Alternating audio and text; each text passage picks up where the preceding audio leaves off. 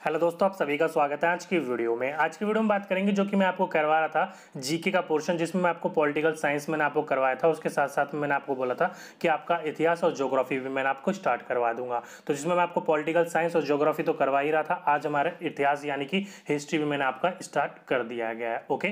तो इस वीडियो को आप एंड तक देखते रहेगा आपको सारी इन्फॉर्मेशन मिल जाएगी कि इतिहास में हम क्या क्या पढ़ने वाले हैं और कहाँ कहाँ से आपका पेपर बनता है। तो इस वीडियो को आप एंड तक देखते रहेगा आपको सारी इन्फॉर्मेशन मिल जाएगी। तो नमस्कार दोस्तों, मेरा नाम है दीपक, आप देख रहे हो DK Gupta online videos for government exam चलिए शुरू करते हैं।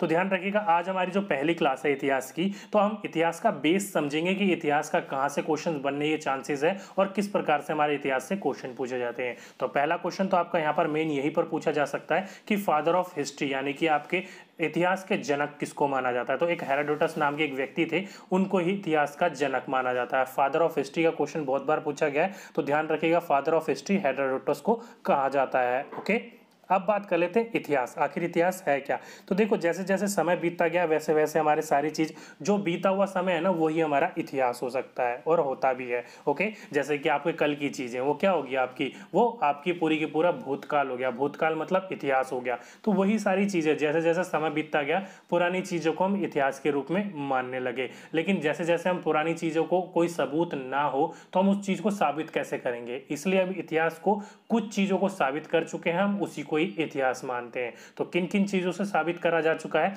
तो देखो, ये तीन चीज़ें जो मोस्ट प्रोबेबली आपसे पेपर में पूछा जा सकता है। पहला आर्कियोलॉजी यानी कि पुरातत्व, यानी कि जब खुदाई करी जाती है तो खुदाई में आपके जो पुराने ज़माने के बर्तन, पुराने ज़माने की मूर्तियाँ वगैरह निकली थी, उसके अनुसार आपके जो स्रोत होते हैं इतिहास के, उसको माना गया था इतिहास का।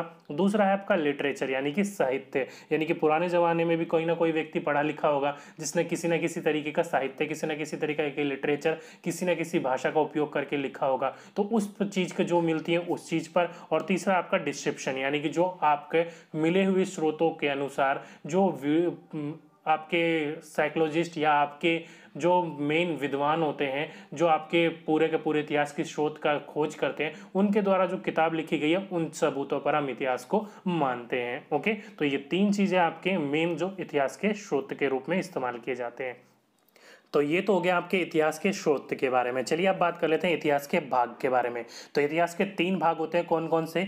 Pre history proto history and history, जिसको आप हिंदी में प्राक्य इतिहास, अर्ध इतिहास और इतिहास कहते हो। तो ज़्यादा आपके जो क्वेश्चन पूछे जाते हैं पेपर में, वो आपके इतिहास यानी कि हिस्ट्री से पूछे जाते हैं ओके तो हम तीनों को विस्तारित से बात करेंगे। जैसे कि आपका पहला प्री हिस्ट्री प्री हिस्ट्री क्या होता है? तो ध्यान रखिएगा प्राच्य इतिहास, वो आपका गुजरा हुआ समय, जिसके बारे में आपका कोई भी लिखित जानकारी या लिखित सबूत नहीं मिला। है समय तो बीता है, लेकिन उसके बारे में कोई सबूत नहीं है हमारे पास कि वो समय बीता है या नहीं बीता है। यहाँ से आपके कुछ क्वेश्चन है आपके, वो लिमिटेड क्वेश्चन है, दस से बारह क्वेश्चन मैं अभी आपको बता दूँगा। आज हम प्री हिस्ट्री को ही पढ़ेंगे ओके उसके अलावा आज तक यहाँ से कोई क्वेश्चन नहीं पूछा गया अब बात करें प्रोटो हिस्ट्री के बारे में तो प्रोटो हिस्ट्री आपके, वह बीता हुआ समय है, जिसके बारे में सबूत तो मिले हैं, लेकिन उसको आज तक कोई समझ नहीं पाया इसलिए इस यहाँ से तो आपका बिल्कुल ही क्वेश्चन नहीं बनता है। क्यों? क्योंकि जब इसको कोई समझ ही नहीं पाया है तो वहाँ से क्वेश्चन बनने का तो कोई चांसेस ही नहीं होते हैं। ओके अब लास्ट आता है आपका हिस्ट्री यानी कि इतिहास।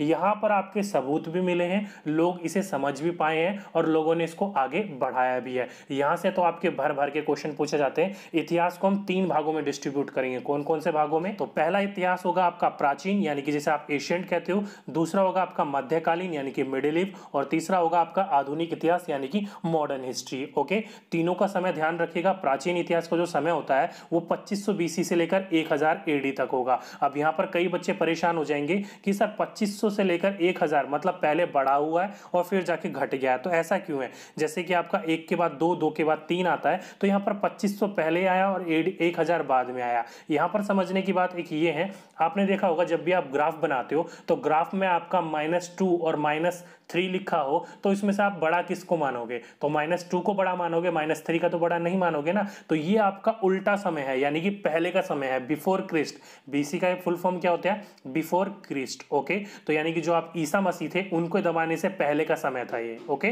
तो प्राचीन इतिहास का जो समय होता है आपका 2500 बीसी से लेकर 1000 एडी तक है। मध्यकालीन इतिहास का जो समय था आपका 1000 एडी से लेकर 1707 एडी तक था। और मॉडर्न यानी कि आधुनिक इतिहास का जो समय काल था, वो 1707 से लेकर आज तक का, यानी कि जो टिल डेथ है, वहाँ तक चलेगा ओके तो इतिहास की जो हम बात करेंगे, वो इन तीन इतिहास के बारे में बात करेंगे। लेकिन आज जो मैं पढ़ाने वाला हूँ आपको, वो पढ़ाऊँगा प्राक्य इतिहास यानी कि प्री हिस्ट्री के बारे में। यहाँ से कुछ लिमिटेड क्वेश्चन है, हर बार वही रिपीट पूछे रहते हैं, उनको समझा देता हूँ। तो जैसे मैंने आपको बताया था, वह गुजरा हुआ समय, जिसके बारे में कोई लिखित जानकारी नहीं मिली है, उसको बोला जाता है प्राक्य इतिहास ओके अगर एक क्वेश्चन बहुत बार पूछा जाता है, अगर आप थियोटिकल पेपर दे रहे हो तो अगर आपसे पूछा जाए कि इतिहास क्या है, हम इतिहास किसको मानते हैं? तो ध्यान रखिएगा, इतिहास वह है जो कि हमारे भारत के गजट बुक में, ध्यान रखिएगा, गजट बुक में परिष्कारित है या लिखित है, ओके? गजट बुक का नाम ध्यान रखिएगा क्योंकि सारे स्रोत कहाँ से मिले हैं? इतिहास के वो गजट बुक से ही मिलते हैं, भारत के, ओके? अब बात कर लेते हैं प्राच्य इतिहास में आपका कौन कौन सी घटनाएँ घटी थी। तो ध्यान रखिएगा प्री हिस्ट्री को एक और नाम से जाना जाता है, जो कि आपका पाषाण काल। अगर आपसे पूछा जाए कि पाषाण काल किसे कहा जाता है तो प्री हिस्ट्री को ही कहा जाता है, और इसको भी कितने भागों में बांटा गया है? तीन भागों में। कौन कौन से? पहला आपका पूरा पाषाण, यानी कि आपका फिलोलेटिक्स दूसरा आपका मध्यकालीन, यानी कि मेसोलेटिक्स और लास्ट है आपका नव पाषाण, यानी कि न्यूलेटिक्स ओके?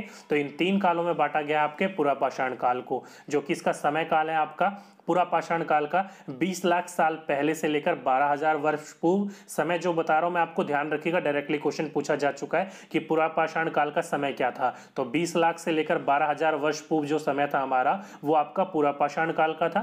मध्यकाल का जो समय था वो 12000 से, जैसे ही खत्म हुआ तो आपका मध्यकाल का समय शुरू हुआ।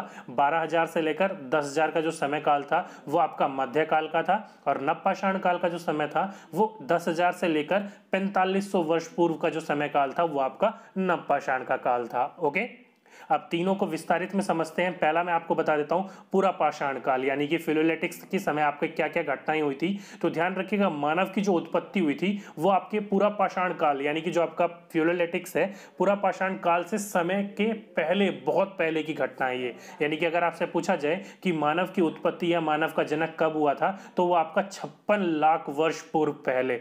पूरा पाषाण का समय काल मैंने क्या बताया? बीस लाख। लेकिन मानव की उत्पत्ति कब हुई थी? छप्पन लाख वर्ष पहले, ओके? तो बहुत पहले की घटना है। डायरेक्टली क्वेश्चन पूछा जा चुका है कि मानव की उत्पत्ति कहाँ पर हुई थी और कब हुई थी? तो छप्पन लाख वर्ष पूर्व पहले मानव की उत्पत्ति हुई थी कहाँ पर? अफ्रीका के बीचों बीच यानी कि जो अफ्रीका है, वहाँ पर आपकी मानव की सबसे पहले उत्पत्ति हुई थी, ओके? दूसरा आपका आग की खोज। अगर आपसे पूछा जाए कि आग का आविष्कार या आग की खोज कौन से काल में हुई थी तो पूरा आपका पूरा पाषाण काल में ही आपकी आग की खोज हुई थी। कब? तो चालीस हज़ार वर्ष पूर्व पहले आपकी आग की खोज हुई थी। ओके? तो वो था आपका पहला काल जो कि पूरा पाषाण। अब बात कर लेते हैं मध्य पाषाण काल की। तो मध्य पाषाण काल में क्या हुआ था? तो यहाँ पर कोई भी ज़्यादा मेन घटनाएँ नहीं घटी थी। बस डायरेक्टली ये पूछा जाता है कि आपका जलवायु परिवर्तन कौन सा समय काल था? तो मध्य पाषाण काल जो था वो समय जलवायु परिवर्तन का समय काल था, ओके? अब बात कर लेते हैं नवपाषाण काल की। बहुत इंपॉर्टेंट क्वेश्चन यहाँ से बहुत बार पूछे जा चुके हैं। जैसे कि नवपाषाण काल में ही आपकी किसकी शुरुआत हुई थी? कृषि की शुरुआत हुई थी। तो डायरेक्टली अगर आपसे क्वेश्चन पूछा जाए कि कृषि यानी कि खेती की शुरुआत कौन से काल में हुई थी? तो नवपाषाण काल में हुई थी आठ हज़ार वर्ष पूर्व, ओके? दूसरा क्वेश्चन है आपका, पहिए, यानी कि जो व्हील होता है, उसकी खोज कब हुई थी? तो वह, वो भी आपकी नव पाषाण, यानी कि जो पहिए की खोज हुई थी, वो भी आपकी नव पाषाण काल में हुई थी, पैंतीस हज़ार वर्ष पूर्व पहले, ओके? कब? पैंतीस हज़ार वर्ष पूर्व पहले, बहुत इंपॉर्टेंट क्वेश्चन है, काफ़ी बार पूछा जा चुका है तो ध्यान रखिएगा इस क्वेश्चन को, ओके?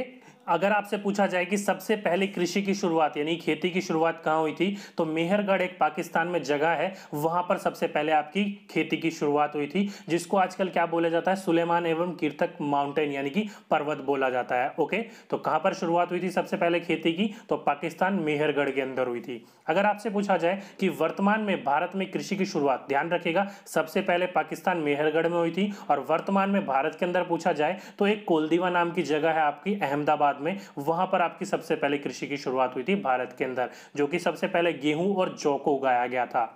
ओके? और इसी के साथ साथ में अगर आपको पूछे जाए कि ऐसी कौन सी सभ्यता है जो आपस में फल फूल रही थी एक समान समय पर तो भारत मेसोपोटामिया मिश्र और ये चीन, ये चार सभ्यताएँ, ऐसी सभ्यताएँ थी जो एक ही साथ फल फूल रही थी। तो ये क्वेश्चन डायरेक्टली पूछे जा चुके हैं नवपाषाण काल से। तो ये थे आपके कुछ क्वेश्चन प्राक इतिहास, यानी कि प्री हिस्ट्री से जो क्वेश्चन पूछे जाते हैं, उसके बारे में ओके तो ये एक छोटी सी वीडियो आज आपको बतानी थी कि आपके प्री हिस्ट्री से किस किस प्रकार के क्वेश्चन पूछे जाते हैं, वहाँ से, उसके बारे में। नेक्स्ट वीडियो में हम बात करेंगे प्योर हिस्ट्री के बारे में, जो कि प्राचीन इतिहास मध्यकालीन इतिहास और आधुनिक इतिहास से जो क्वेश्चन आपके पूछे जाते हैं, बहुत सारे, चाहे आपका एसएससी का एग्ज़ाम हो यूपीएससी का एग्ज़ाम हो टेट का एग्ज़ाम हो, किसी का भी एग्ज़ाम हो, बहुत क्वेश्चन वहाँ से आपके आते हैं ओके तो दोस्तों, आज की वीडियो में बस इतना ही। अगर वीडियो अच्छी लगी हो तो नीचे जाकर वीडियो को लाइक करना ना भूलिएगा। अगर आपके मन में वीडियो के रिलेटेड कोई भी डाउट हो, कोई भी क्वेरी हो तो नीचे कमेंट बॉक्स में कमेंट कीजिएगा, मैं आपका रिप्लाई ज़रूर करूँगा। अगर आपने इस चैनल को अब तक सब्सक्राइब नहीं कराए तो जल्दी से सब्सक्राइब कर लीजिए और उसके साथ में जो बेल आइकन होगा, उसको भी दबा दीजिएगा, ताकि आने वाली वीडियोज़ का नोटिफिकेशन आपको टाइम टू टाइम मिलती रहे। तो आज की वीडियो में बस इतना ही। आपसे फिर मुलाकात होगी नेक्स्ट वीडियो में। जब तक के लिए जय हिंद, जय भारत।